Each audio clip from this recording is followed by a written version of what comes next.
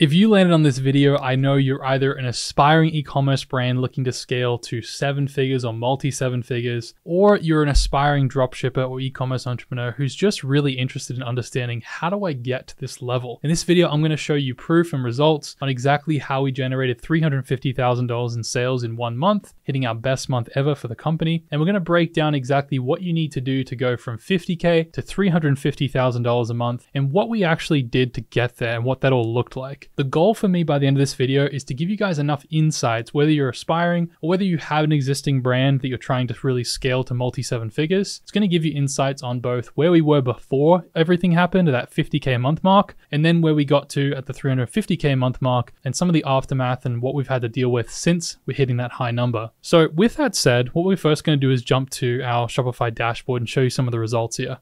You know, one of my big goals is to be transparent and to really showcase to you guys a lot of the knowledge that goes untalked about or not it's not talked about online as it relates to building a real e-commerce brand and not just focusing on building like a one product success because at the end of the day building something sustainable like this doing a $350,000 a month where I know that we can continue to do uh, very high numbers month after month and not have to worry about a product dying is a really important thing for your future and for just building up a brand that's actually worth something down the road. And so I really want to get into the, a little bit of the nitty gritty today. You can see we did $348,000 in sales. We had uh, about 128,000 people to the store during this month of December. And it was honestly just such a crazy time. Like I just remember like going through this whole experience, you know, because we've been building up to this for such a long time. And as you can see here, we did around $8,000 a day. We did $12,000 days, $15,000 a day here. We did a $17,000 day on December 15th. Then we had some lower days at 5,000, 12,000, 13,000, 15,000. So we had a lot of big days, um, you know, five figure days, and it was just such a cool experience. And a lot of it was due to a few factors that we're going to dive into here in this video. But what I want to really talk about here first is to showcase to you guys a little bit about like the inside of the company. These are some shots and some some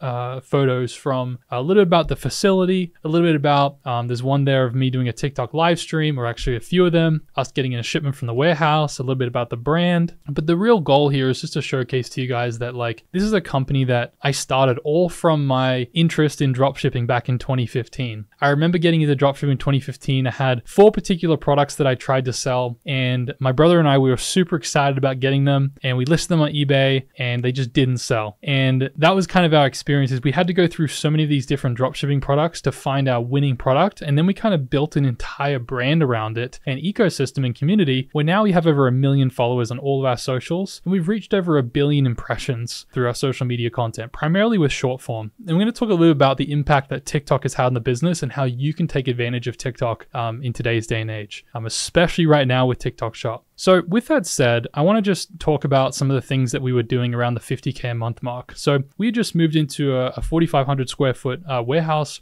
and this warehouse allowed us to do a lot more things. Um, but really, what led up to us being able to get to that point was finding a product that provides value to the market. You can't just find a product that everyone else is selling and try and sell it. It can work for a time if you have good content, if you can you know how to run ads, but at some point it's going to die unless you kind of evolve it into something better where you can create a real experience around it and you can actually be different from your competitors. So that's first and foremost. If you want to get that 50k a month consistently and actually do 500, 600,000 dollars a year rather than just kind of like a couple of 50 50k months, which I know would be great too. But thinking long term, that's going to set you up better for the lifestyle that you want, the business you want to build, and um, actually building a life that you can choose to do what you want with it. The second thing that's really important to uh, really figure out in these early stages, if you're sitting at, you know, 5, 10, 15, 25k a month, or even just your, your sales are really fluctuating, is you need to dial in your ad creatives and also your organic content. So that's one leverage point that you do have is as a small business, you can create videos that showcase more of your product, demonstrate how it's used, play off viral trends, use UGC style content to use in your advertising because that is what converts the best. And we use this for all of the other e commerce brands that we also manage in addition to uh, this brand. And it allows us to um, have a better understanding of what's working across the market. And that is by far one of the biggest things that is working. You need to test enough. You need to get familiar with making content, whether that's you creating it, whether that's someone you know, someone in your company, or someone you're working with, or even hiring in creators to make content for you. It's a very important concept to understand because it gives you leverage. Building a content focused business and con-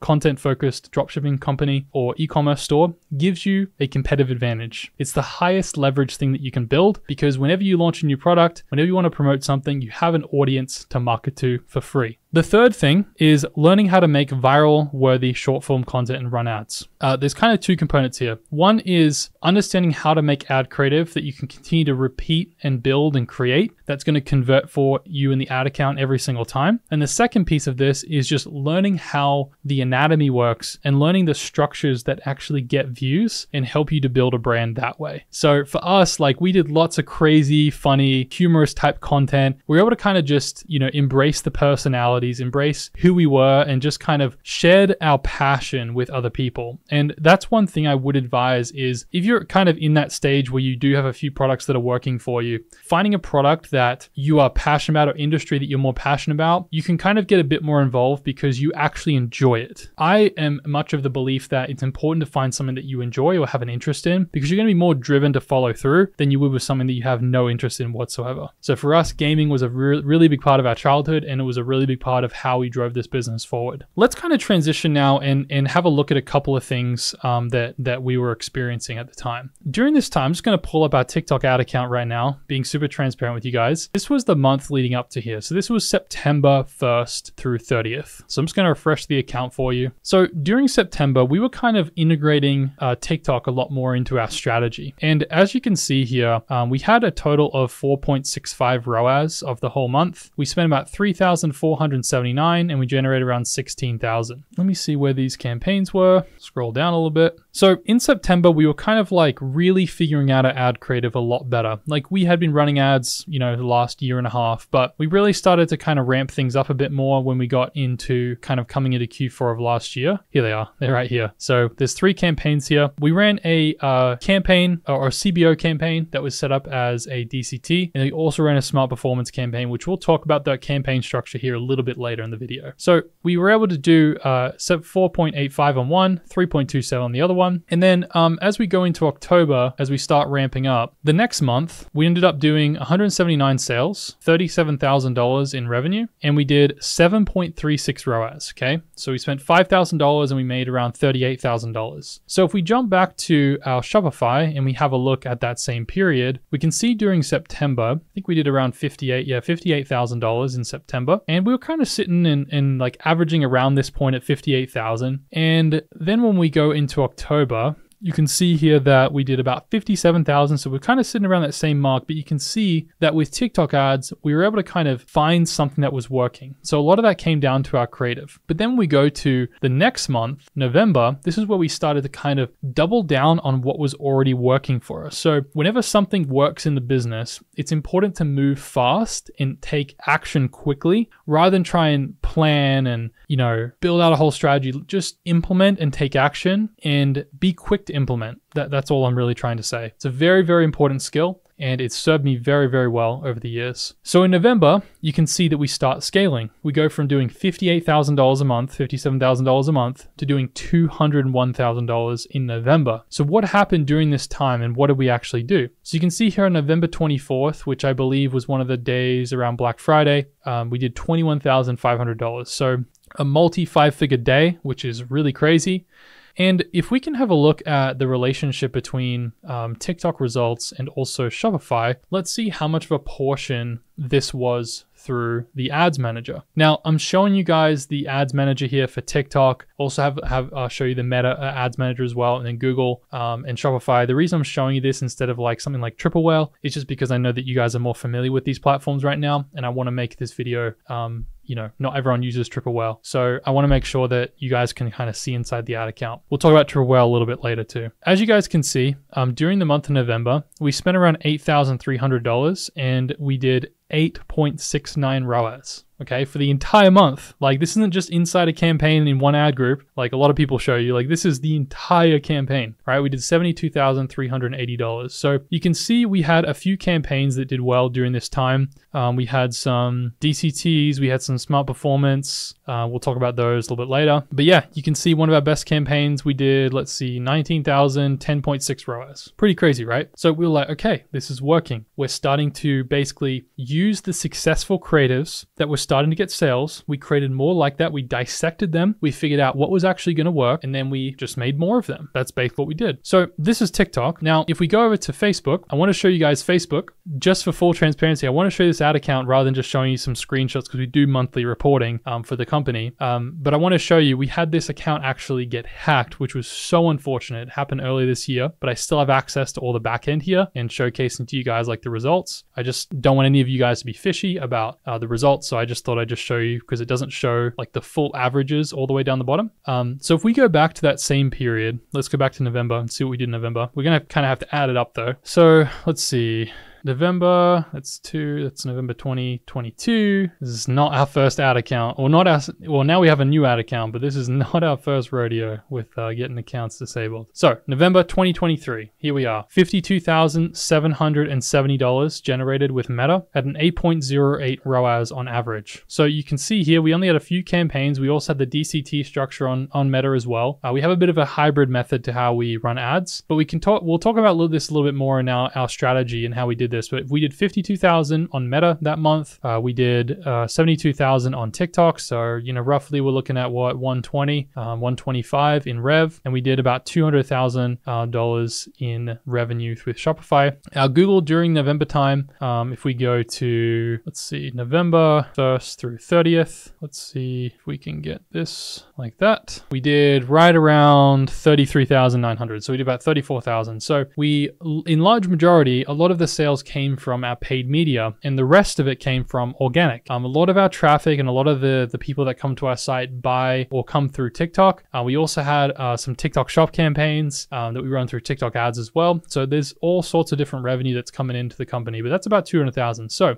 then this is kind of where things kind of get crazy is we're like, all right, we're going to double down again. We're going to do more of what's working. And we also know this is a great buying time of the year. Let's kind of ramp things up and do even more. So what we did is in preparation for December, is we made double the amount of ad creative that we did in November. We analyzed the best creators from what we were working before and getting the high ROAS. We made more of them. We then um, doubled down on Meta and we just started investing more time into the creative aspect of our advertising because the way that I see it, the way that I, I like to teach people is it's so important that you don't think about so much the complexity of the campaign structures and the interest targeting. It's all about creative. If you learn how to make good creative, you'll target the right people and you'll get the high profitable results. So with that focus, when you approach your advertising, this is always, always the most important thing. And so the more you learn about creative and the more experience you have, you can basically implement creative that's going to work for you and generate more profitable results. And there's many, many e-commerce brands that come our way that we work with and we almost double their ROAS just by implementing the way that we do our UGC based content through ads. So let's have a look at December and let's see what we're doing here. So $348,000 uh, one month, which is just, it's, it's honestly crazy to think that we did that in one month month. And let's kind of look at what we did in uh, December on Meta right here. All right, so on Meta, we did $115,000 at 6.07 ROAS. Um, I also have kind of a screenshot of showcasing to you guys like this is the actual amount. So again, this is like lifetime as of February 2024. This screenshot was taken. So the numbers do appear, um, but because the, the account was compromised, um, it doesn't show all of the, the totals down the bottom um, when you do lifetime for this account. So again, we have multiple accounts. Um, that we have to warm up and, and get going as well, just in case something like this does happen. So $115,000 on Meta, 6.07 ROAS. And then if we go back to TikTok and let's have a look at what we did in December on TikTok, be prepared. It's it's kind of crazy. Best month that we've ever had um, on TikTok. We did we spent fourteen thousand dollars and we generated hundred and fifteen thousand dollars in one month with eight ROAS. Eight ROAS flat. Absolutely crazy. Still to this day, it's it's so surreal to look back on on this and, and see that we did this because I just remember like how much of a grind it was to like get these results because we had to produce so much creative. Because one of the lessons I want to learn or want to teach you guys um, from showing you this is um, one of the things to keep in mind when scaling is scaling happens in the amount of creatives. It doesn't actually happen in the amount of ad campaigns. So it happens with the amount of creatives and the focus on creatives. That's what helps you scale. If you don't have that piece down, you're never going to be able to scale, especially at the ROAS or the break even that you want to, or whatever KPI you're measuring. It's just going to get harder and harder once you're at scale. You have to really lean into creative and really break down what's working for you and how you can make more of that for future campaigns. Profitable scale happens with ad creatives that are dialed in, meaning that you need to understand how to make ads properly this year because the more that you can make ads not feel like ads that are more natural and authentic, generally speaking, you see higher conversion rates. And when you can focus on top of funnel, middle of funnel, and bottom of funnel ads, you can kind of capture everyone. You can get people in the door, kind of a cold audience, people who don't know you, and then nurture them and then kind of close the deal or push them to actually purchase who are familiar with your brand, right? So you can nurture them with organic content as well. But it's important to understand all these different phases of the funnel and move people down that funnel. Um, and then the last thing I wanted to mention is just things to keep in mind when scaling and kind of going over this is when we were going through this whole uh, crazy month, things were breaking. Okay, like like things were breaking. Like I remember I was talking with our customer service rep and I was I was talking about like, hey, how you doing? Like how you holding up? And like every five minutes an email was coming in. Every three minutes an email was coming in. And by the time we done with our 45 minute call, I mean there was like 50 new emails that came through. And I was like, okay, the volume at which we're getting emails is crazy, right? Because people want to either change orders, they want to request different things, change their address, whatever the case may be. It, it was just insane. So our customer service was like full blast. We like started getting backed up because there was other responsibilities that they had to communicate with other people like through the live chat on the website. We started like getting so many orders that all of our controller technicians like they couldn't keep up with the builds. So we had to push back our build times and they were already, you know, 2 3 weeks. We had to push them to 4 5 weeks and everything just got more intense. We were like trying to hire new people during this month. We brought on I think two new full-time uh, people and a part-time person to build controllers and it just got crazy. Like things just started to break. And that's what happens when you scale. And it can happen in micro adjustments, like as you get to different levels of scale, like, you know, you may be able to manage 5, 10K a month on your own, you know, maybe 25K, just depends on like the business and the product that you have and how you're all doing it. Are you doing it through a 3PL company? Are you drop shipping it from a US based supplier or someone in China? You know, do you actually have a physical warehouse with employees who are filling those orders for you? Whatever you're doing and however you're doing it, things are just going to break and there's going to be problems that happen. And one of the most important important things about being an entrepreneur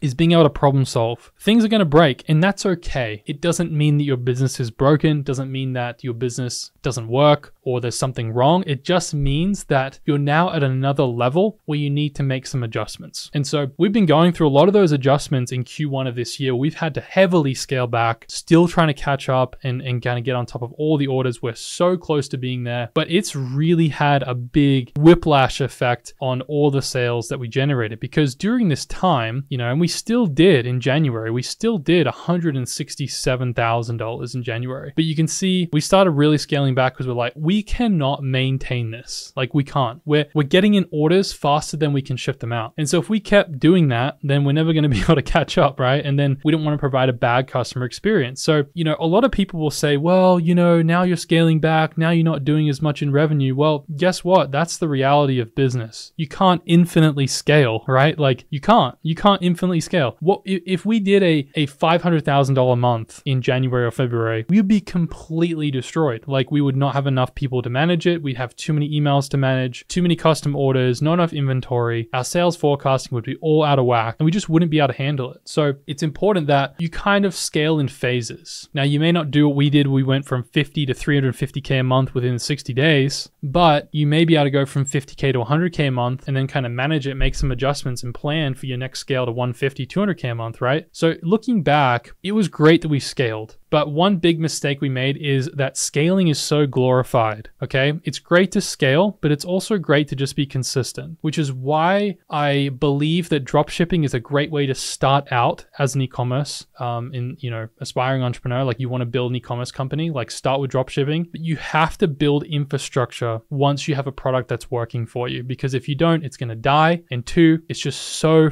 it, it fluctuates so much in what your sales volume will be. And let's be honest, people don't want two week shipping and you're going to get backlash from that after a while. Once you sell enough units, people are going to hate you for it, leave you bad reviews, and then all of a sudden you got to drop the product and move to something else because your brand's tainted. Like, let's be honest. And that's not what I want to teach you guys here. Now, I want to teach you guys how to drop ship and how to get going, how to find, you know, really good products, how to vet them, you know, how to set up logistics, you know, how to find even find 3PL companies and whatnot. But, you know, for those of you who are already at scale, like you've already got a lot of those systems in place. So I guess like concluding all of my thoughts there is scaling every single month is not necessarily your goal. We'll kind of work up towards it. So that's kind of um, you know, kind of a bit of a breakdown of like that journey. And I guess like one thing that what I want to kind of transition to now with you guys is I wanted to kind of transition to talking about, you know, what has it been like at the 350k month. So once we hit that 350k month, we basically 6x'd our business. And at that time, there's so much that's going on, right? Like we talked about the customer service, fulfillment, there's like lagging effects of all the influx of orders. So even returns coming in a little bit later, right? Because you get just naturally based on the percentage of returns, you're going to get more people sending things back that either need to be replaced or fixed or something like that. And that takes even more time and takes it away from being able to fulfill the orders that you're still back ordered for, right? Like is there's problems that you have to deal with. So there's lots of things that that kind of happen there. Another point I wanted to make is managing more ad spend requires more resources. Now we're kind of like when we're trying to maintain a six figure a month or multi six figure a month revenue mark, you really got to have a good team in place. Now this may go for your ad creatives because we're very heavy on on creative. We're very heavy on content and I see a massive window of opportunity for people who are willing to embrace that content is the path. Because with any product, even if you have a product that someone else is selling, if you can just make better content around it, if you're better at making ads, if you're better at selling it and, without even making it feel like an ad, you're going to sell more units. Like just hands down, you're going to sell more. So one other competitive advantage you can have is just doing the thing that most people aren't willing to do, which is learning how to make actual real creatives. So that's like really, really important for you to understand. And that's that's what TikTok's really done is it allowed it's opened the door wide open for you to make short form content that can be repurposed onto YouTube Shorts, Instagram, Facebook Reels that gets you brand awareness. You want to build that brand awareness because you've got to build a name for yourself even when you have a dropshipping company. So those are some of the things, or that's one of the things that I noticed being at that 350k a month mark. The second thing that I want to talk about here with the 350k month is when you start doing that level of volume volume, you have to start looking at different things. You obviously have your kind of uh, top KPI metrics, which is your ROAS. You'd love to be profitable on the front end, right? Which is what a big focus is for a lot of e-commerce companies. Is like, can we be profitable? How profitable can we be on the front end? But there's also the back end side of things, right? We've got the email marketing. We've also got uh, things like CRO, which is conversion rate optimization. Uh, once we got through November, December, January, if we look at sales through those three months, I mean, we did three quarters of a million dollars in three months. We had 315,000 people come through our website. And so the conversion rate matters because if we just improve the conversion rate by 0.1, we would have added who knows how much more revenue, right? Like if if, if we had a, a 0.1% higher conversion rate, we generate tens of thousands of dollars more. So when you start doing a certain volume and you start getting to a certain level between, you know, that 50, 100K mark and higher, it becomes so much more important that you focus on optimizing the site for conversions because the less friction you can create between the person who sees your ad and purchasing the product, the more sales you'll generate. And so for us right now, one of the big things things that we're focused on because we know we get a lot of uh, organic social traffic because of our large, you know, organic following of like a million followers. And I think half a million of those are on TikTok. We've got half a million on YouTube. A lot of those people are funneling in from the social media. And so our goal now is how can we convert more shoppers or more website visitors into sales? So we can do retargeting, we can do email marketing, and we can also just make it a better user experience on the website. And so there's lots of different things you can do to kind of optimize that and look at that. Now, the other thing too is one thing that's become uh, a lot more important as well during this this process and, in hitting 350k is again, I'll talk more about this uh, maybe in another video in more depth if you guys are interested in, in hearing more about it. You know, using a data attribution platform like Triple Whale, where you can actually see if your Google, Meta, uh, TikTok performance, and organic performance all in one place and be able to make better decisions on what you need to do based on what's happening with the marketing channels.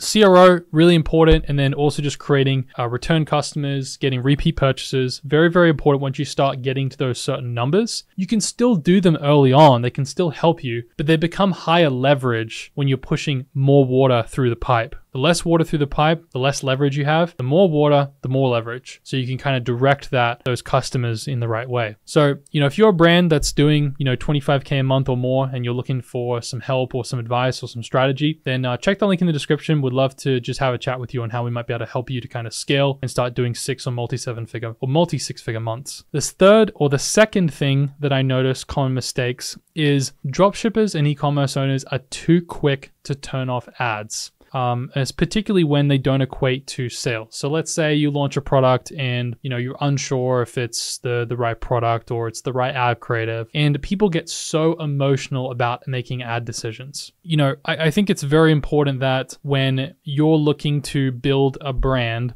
that you understand that it's going to take marketing, but you also understand there's going to be have to be some other learning involved in order for you to really build this out and make it into a multi six figure, seven figure brand. And those skills include understanding and learning more about marketing principles, understanding and learning more about brand, product experience, and really serving your customers and understanding like who your customers are. When you understand more of those aspects in depth and not just at the surface level, you can make better marketing decisions and you can get better results because of it. So I noticed too many people are just quick to turn off an ad because of X, Y, and Z, or it's not converting fast enough, or, you know, the ad's been running and, you know, it, it just isn't working after two days. It's emotional decision making that you need to avoid. You, you can't do what you think you should do. You should always do things based on data and your experience or, or someone else's experience at very least. So that's a big common mistake I see. And I think it holds a lot of people back because if they just didn't get emotional about those decisions, then they'd soon realize that they could be really really, really successful with it if they just give things enough time and they really critically think about what they're doing and how they're doing it. The third thing, third common mistake that I see is only trying one ad creative or running one campaign with only a few ads. And if it doesn't work in like two or three days, they just turn it off and it's not a good ad. I cannot tell you guys how many times when I'm on my group coaching calls with other e commerce owners and they're talking to me about their new ads that they're setting up and they're running, that the amount of people that come and ask me a question like, Hey, Jordan, so I started this campaign like four days ago, and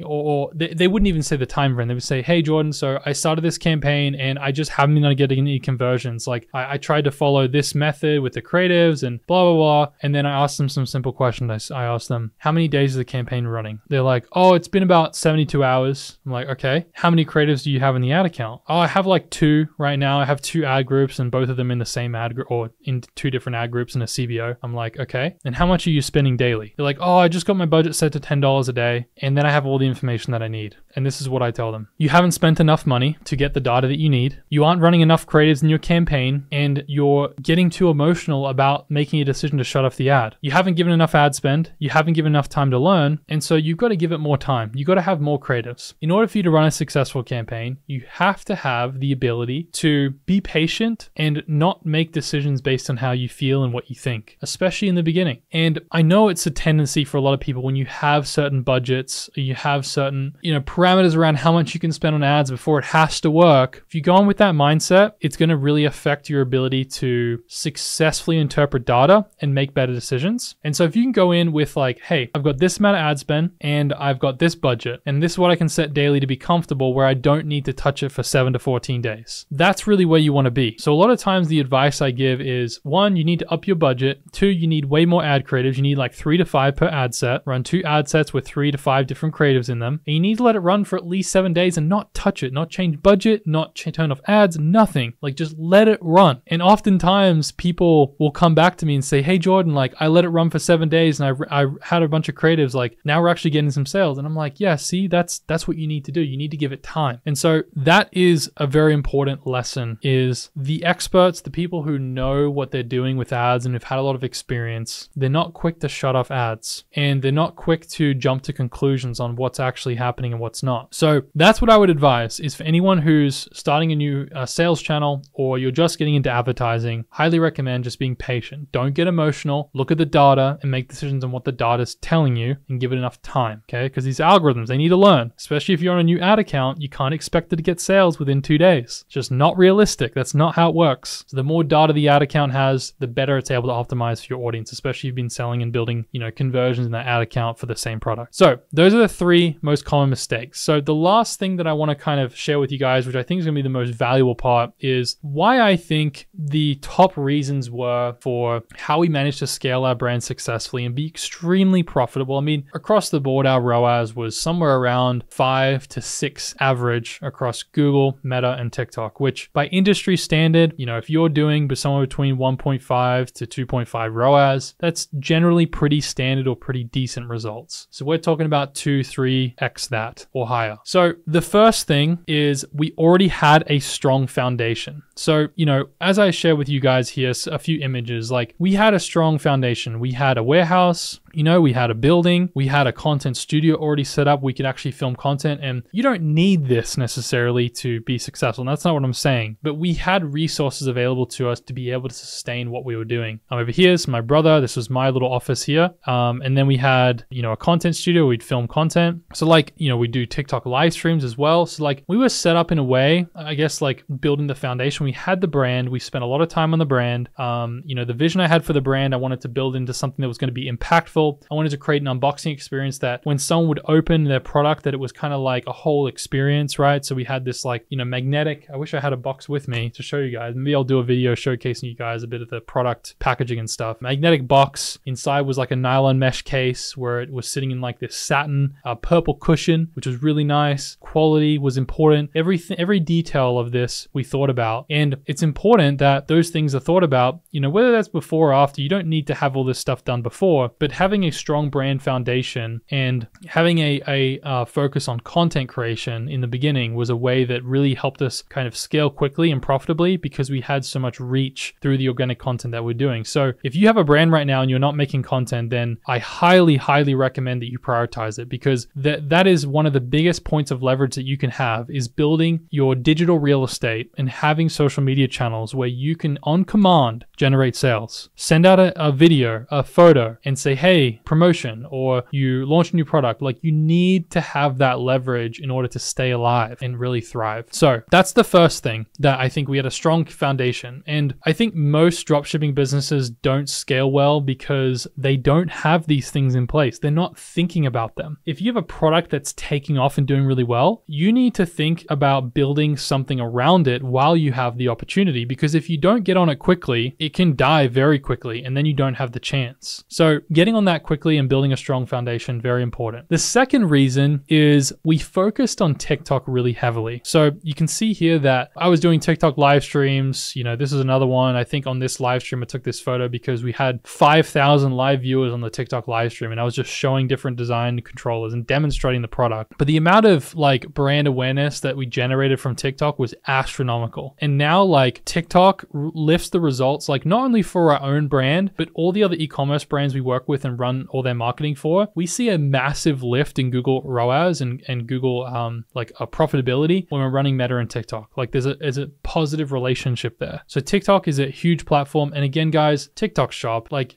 just get on TikTok shop. You don't even need to have a thousand followers. Like make a TikTok shop, have your products on there and start making posts that have your products linked to TikTok shop because you instantly get like 10 times the more organic reach than a regular post. And that's what TikTok is pushing because they make money when they sell your products and they help you sell your products. That's a huge thing. TikTok is massive right now. And if you're not focused on it, then I don't know what you're doing. You're living under a rock and you're missing out on the biggest opportunity of the decade. Third thing is we repurpose and strategically set up Meta ad campaigns to double dip and use the leverage we had. So again, we reused in in some degree the TikTok creatives that we had made and repurposed them onto uh, Meta, and that also generated very high ROAS results. So proven creatives on TikTok also work really well in Meta. Uh, we've seen using Meta ads don't really work well on TikTok. We see more of TikTok styled creatives first, and then putting them on Meta is the best formula for success. TikTok's just really fast fatiguing platform. You know, like you can have a creative that might do well for maybe one to two weeks on TikTok, but maybe it might last about four weeks on on Meta. So you have like a faster creative fatigue cycle on TikTok, which gives you tons of fuel to throw on Meta and scale Meta.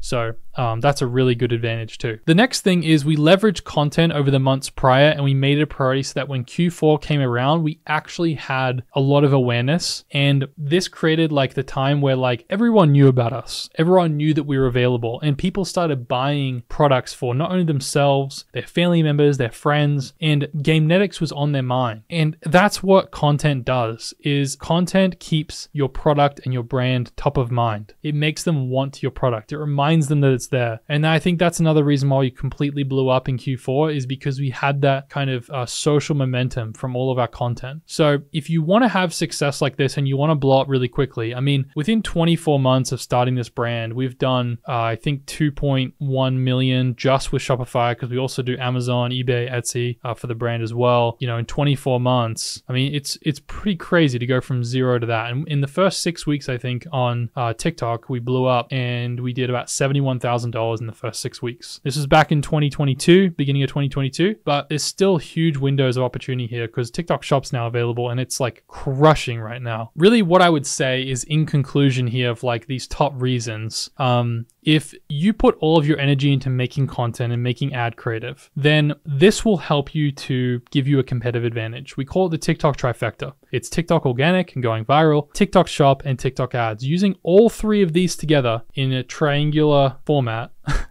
It's not the Illuminati, just just a triangle. TikTok shop, TikTok ads, and organic. You basically creating a formula for your brand and your business that can completely take out your competition, make your competition irrelevant, and build an e-commerce company that can scale very, very quickly and be very, very profitable. So if you guys would like me to kind of break down a little bit more about organic and viral content, you'd like to see kind of how to actually do that and a roadmap for creating content, you know, based on whether you have resources or even on your own, then let me know down below below in the comments if you'd like to see that video and I can make that video next. Um, but yeah, appreciate you guys watching. Would love to uh, make some more videos for you guys. So let me know any suggestions you have down below. Hope you enjoyed this video. I've really enjoyed talking about this and I just can't wait to share more with you. I love doing this. I love teaching and uh, I just, I'm reminded every time I make videos like this that I really just love sharing my knowledge with people um, because my goal is to inspire you that you can achieve your dreams. And if you go back to my channel in 2016, my whole reason I got on YouTube was to document the journey and share my life to hopefully inspire you that, hey, you don't have to be anyone special to achieve your dreams. You don't have to be anyone special to achieve your goals and build the exact lifestyle that you dream of right now, because that's what I've done. And uh, it's a great life, and I'm very, very blessed. So thanks so much, guys. We'll see you in the next video, and uh, let me know what you think.